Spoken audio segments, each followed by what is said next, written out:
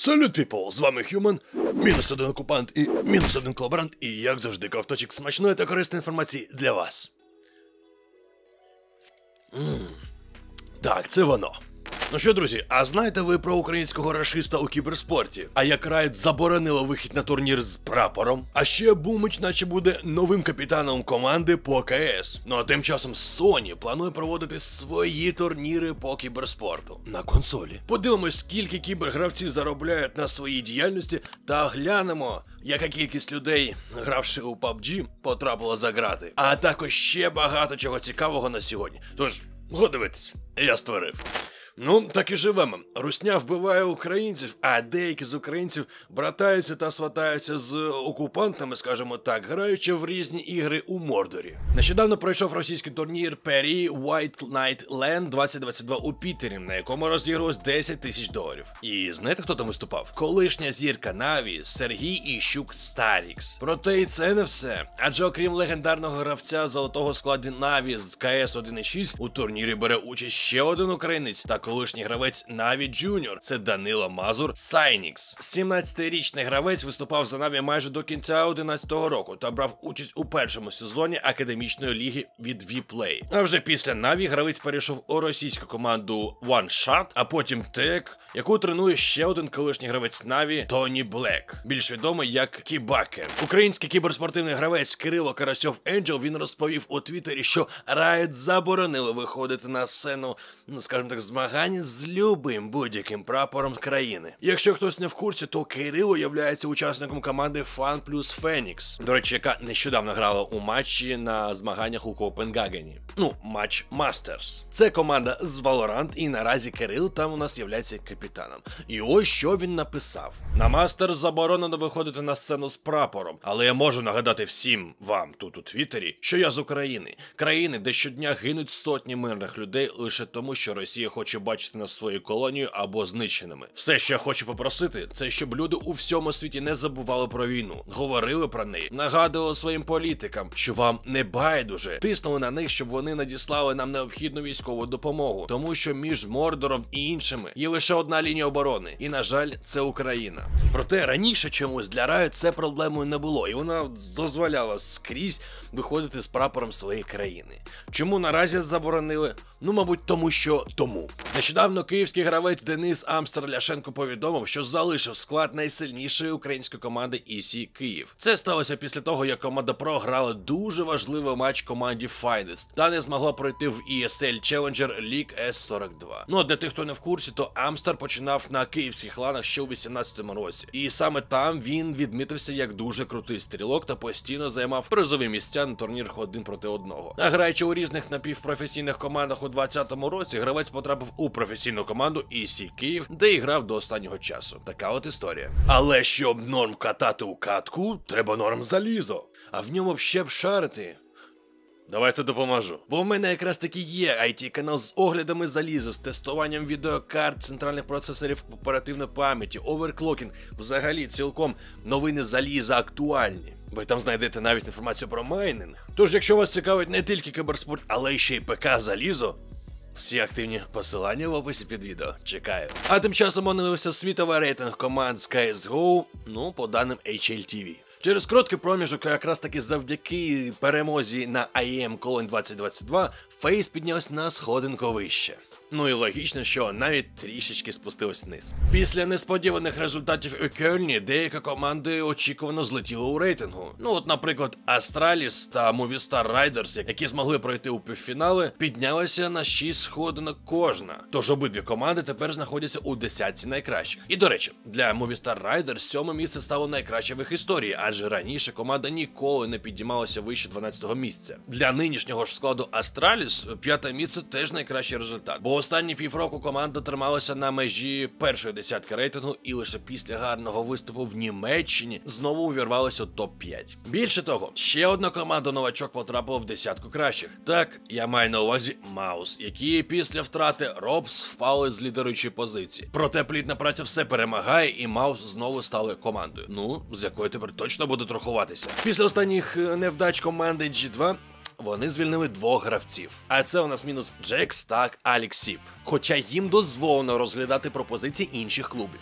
Хто замінить гравців і доповнить команду, у якій лишилися росіяни Монесі та брати Ковачі, наразі невідомо. Проте ходять чутки, що капітаном G2 може стати славнозвісний Бумич, який ще до недавнього часу очолював Наві. Тож думаю, що скоріш за все більше інформації з'явиться ближче до кінця літньої перерви. Проте, якщо звернути увагу на нещодавні події, то ще в березні, завдяки гарним виступам у 2021 році, G2 знаходилися на третій сходинці світового рейтингу.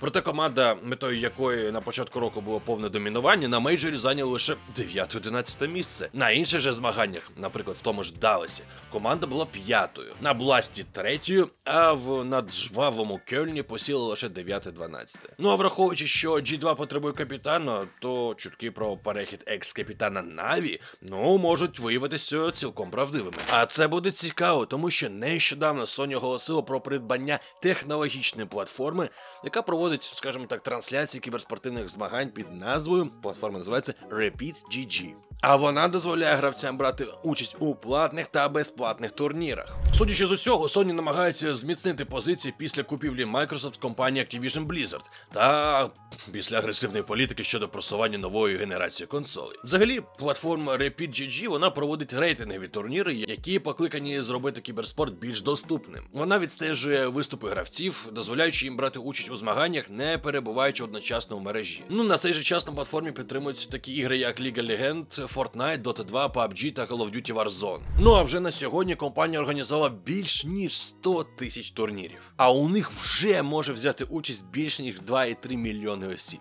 Ну а після переходу RPGG під контроль Sony, платформа продовжить працювати в колишньому режимі, але матиме нові можливості, про які оголосять у найближчому майбутньому. Більше того, Стівен Роберт, це віце-президент із глобальних змагальних ігор Sony, він пояснив причину придбання стартапу. Надалі цитата: у PlayStation наше бачення кіберспорту завжди полягало в тому, щоб подолати бар'єри для геймерів, щоб конкурувати на всіх рівнях. Тим часом генеральний директор RPGG також зробив заяву, сказавши, що Repeat GG був розроблений, щоб увімкнути нові формати турнірів, які легко вводити та масштабувати для мільйонів гравців. Ми раді приєднатися до команди PlayStation і працювати разом, щоб розширити різноманітність турнірів, якими можна насолоджуватися геймерами незалежно від рівня їхньої кваліфікації. Ні, ну ви красавчики, чесно. Мало того, що просто дивитесь мене, ліпите вподобайки.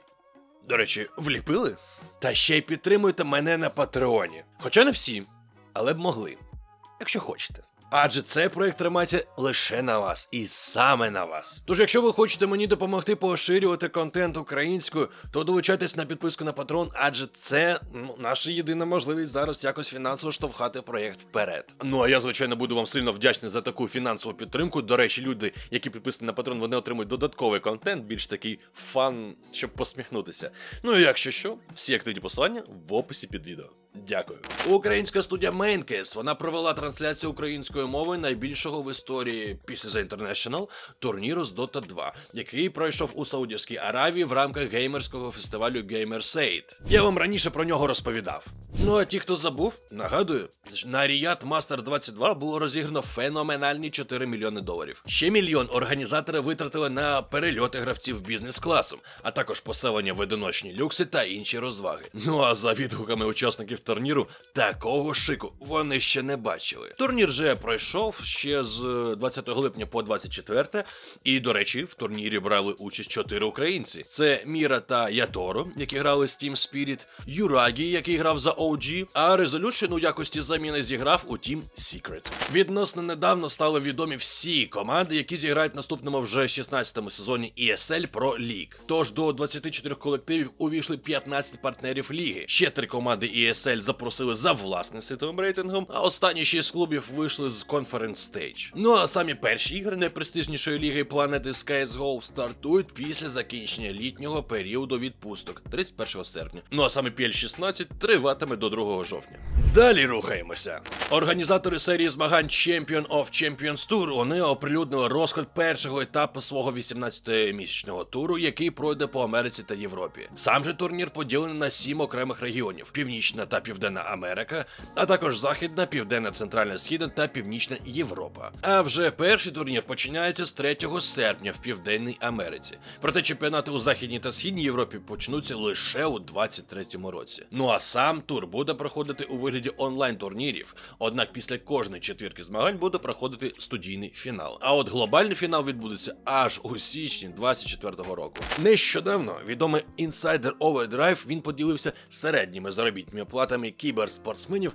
Ну на разі це у нас CSGO гра у серйозних клубах. І за словами Бірюкова, зарплати залежать в першу чергу від місця команди в рейтингу HLTV. А хлопці з порталу Game Insight попросили дати експертну оцінку наданим цифрам, які ви зараз бачите перед собою. А попросили засновника українського клубу EC Київ Максима Беднарського. І от він так підтвердив, що названі цифри близькі до реальних, лише з поправкою на те, що у східній Європі цифри можуть бути дещо меншими. І до речі, якщо ви хочете вечірком почилити в якусь прикольну гру разом з кайфовим чатиком та атмосферою, долучайтесь до мого стрімерського YouTube каналу. Human Vast кепські стріми. Там і ігри українською також від українських розробників. А підтримувати їх зараз це особливо важливо. Тож, якщо що, чекаю тебе увечері на каналі. І поспілкуємося, і пограємо. Хо-хо-хо, а це буде гаряче. Поліція Бангладешу заарештувала понад 100 осіб під час рейду на подію PUBG Mobile LAN, яка була організована та проведена попри заборону гри PUBG Mobile у Бангладеш. І переважна більшість людей, заарештованих на заході, були студентами, які ймовірно і брали або організовували змагання. І наразі 24 гравці засуджені до дводенного арешту, а ще 78 осіб очікують перевірки віку. А всім, кому буде 18 років або більше, отримують аналогічні терміни ув'язнення. Ну і що ви розуміли, ще у 21-му році у серпні Бангладеш заборонили дві гри. Це у нас Free Fire та PUBG Mobile. Ну, типу, через те, що ці ігри викликають звикання, а також роблять підліків більш агресивних, бла бла бла бла. Та навіть аморальними. І все це на думку Верховного суду країни. Ну, чесно. Тому що є вже багато досліджень, їм би краще науковці або почитати, або я на що стільки ліниві подивитися. Конференції TEDx міжнародні вже давно все спростували і навіть науково довели, як позитивно саме шутери впливають на здоров'я людини. Угу. Так, е, заборону ввели терміном ще тоді на три місяці, але потім продовжили на невизначений термін. Подібні заборони на PUBG Mobile вони були видані ще кількома країнами Близького Сходу та Південної Азії. Ну і повідомляється, що поліція влаштувала рейд на турнір після того, як хтось повідомив про лан. Ні, ну тут безумовно організатори вчинили безвідповідально, тому що проводячи турнір по грі, яка заборонена. І от у підсумку через це необачне рішення десятки гравців потрапили у в'язницю. Ну і родзинка на торті сьогодні. Нещодавно Valve закрили відбір стікерів на честь десятиліття гри, які було відкрито ще у березні, і найкращі з них будуть поміщені у капсулу. І до речі, це вже другий такий захід від розробників, тоді як минулого року найкращі автори отримали по 100 тисяч доларів. Ну а наразі ж серед стікерів, доданих у майстерню, вперше є дуже круті українські, які називаються For Death and Glory. Ну, напишіть, як вам новина на сьогодні. А з вами, як завжди, був Human. Дякую за вашу підтримку на YouTube та на Патреоні. І як завжди, кайфової вам гри.